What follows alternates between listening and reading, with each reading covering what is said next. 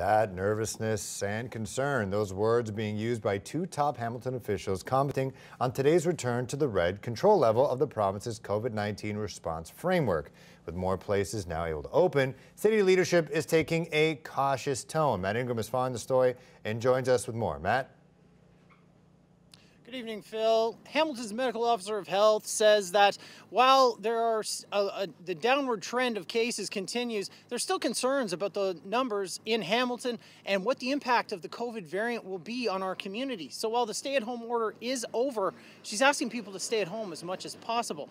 Dr. Elizabeth Richardson says people it's critical for people to continue to take the health measures seriously. She says she has no intention of adding any additional safety measures at this point and the numbers are trending downwards. But the mayor, the head of the emergency operations center and Dr. Richardson are stressing we must remain vigilant as the variant makes its way through the province.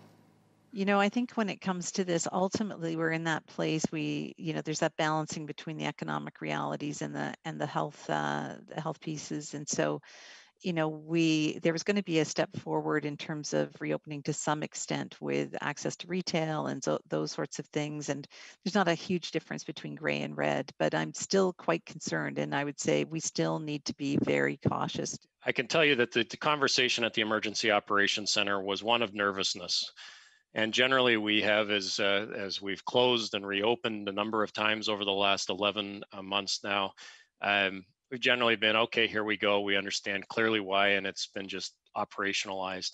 On this one we're obviously operationalizing it uh, we are in the red control category but there's a little sense of nervousness because uh, we're unclear about these uh, new variants that are coming along and their impact in the community